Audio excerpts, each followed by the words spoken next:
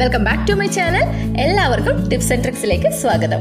അപ്പോൾ ഇന്നും ഞാൻ കുറച്ച് നല്ല അടുക്കള നുറങ്ങുകളായിട്ടാണ് വന്നിരിക്കുന്നത്. ഇന്നലെ ഇട്ട വീഡിയോക്ക് നല്ല റെസ്പോൺസ് ആണ് കിട്ടിയത്.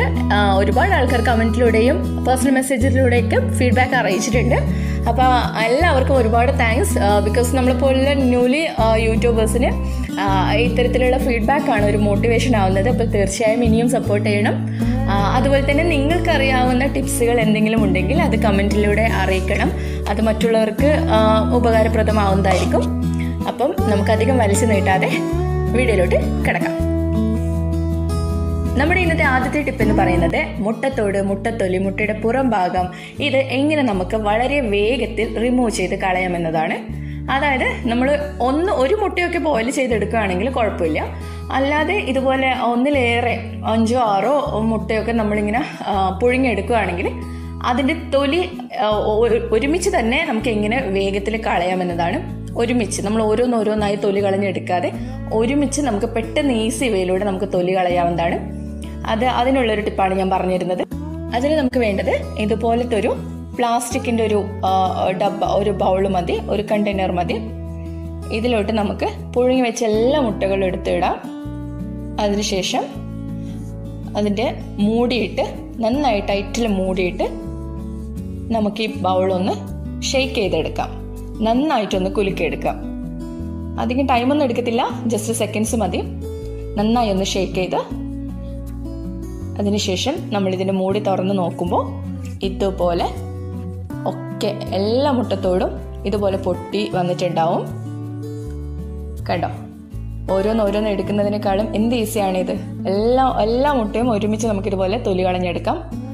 ഇതിപ്പോൾ രണ്ട് നമുക്കൊരു രണ്ട് എഗ് ആണ് ഇതുപോലെ ചെയ്യേണ്ടതെന്നുണ്ടെങ്കിൽ നമുക്ക് ഇങ്ങനെ ഒരു ബൗളിന്റെ ഇങ്ങനത്തെ ഒരു കണ്ടെയ്നറിന്റെ ആവശ്യമില്ല.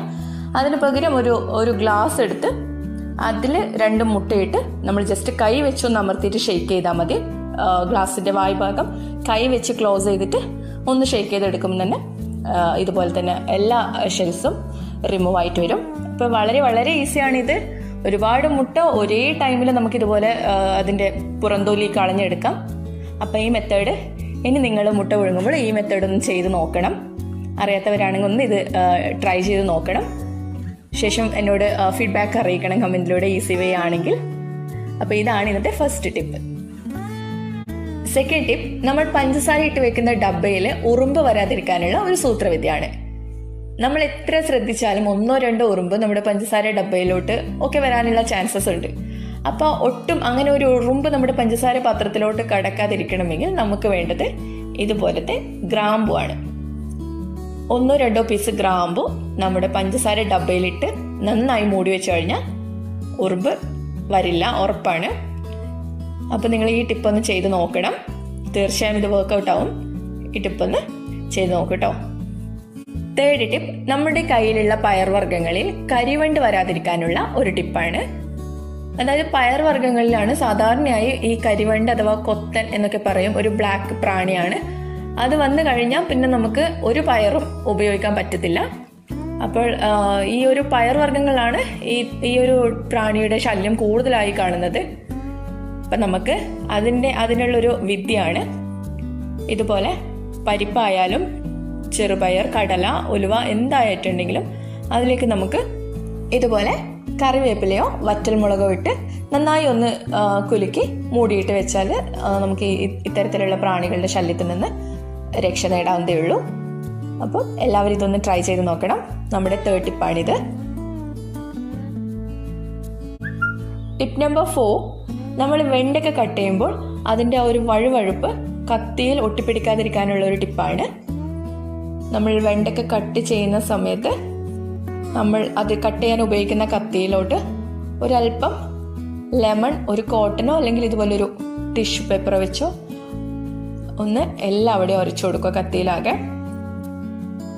അതിനുശേഷം ഒരു തുണി വെച്ച് അല്ലെങ്കിൽ ഒരു ടിഷ്യൂ പേപ്പർ വെച്ച് കത്തി നന്നായി തുടച്ചെടുക്കണം. അതിനുശേഷം നിങ്ങൾ ഈ വെണ്ടയ്ക്ക ഇങ്ങനെ കട്ട് ചെയ്യുമ്പോൾ വെണ്ടയ്ക്കയുടെ വഴുവഴുപ്പ് കത്തിയിലോട്ട് ഒട്ടിപ്പിടിക്കത്തില്ല. ഇതൊന്ന് ട്രൈ ചെയ്ത് നോക്കണം കേട്ടോ.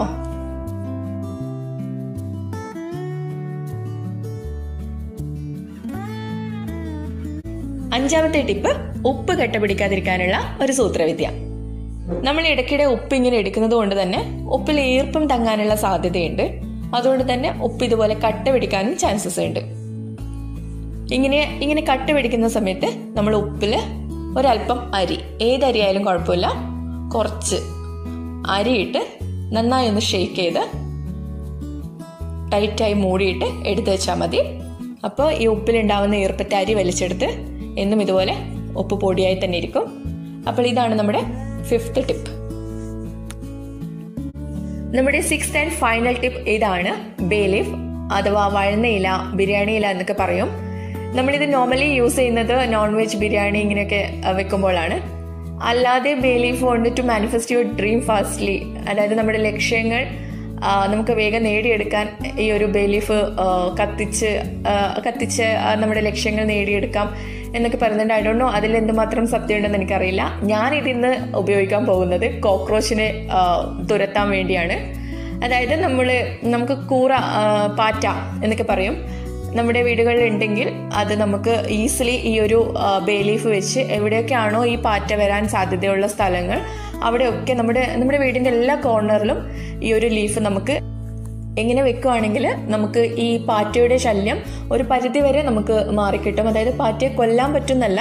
എന്നാൽ ഇത് ഇതിന്റെ ഒരു സ്മെല്ലുണ്ടെങ്കിൽ പാറ്റ തീർച്ചയായിട്ടും ആ ഒരു ഭാഗത്തിലോട്ട് വരില്ല. അതുകൊണ്ട് നമ്മുടെ വീടിന്റെ എല്ലാ കോർണറിലും നമുക്കിങ്ങനെ ഈ ഒരു ബേ ലീഫ് വെച്ചാൽ നമുക്ക് പാറ്റയെ ഈസി ആയിട്ട് തുരത്താൻ വേണ്ടി പറ്റും.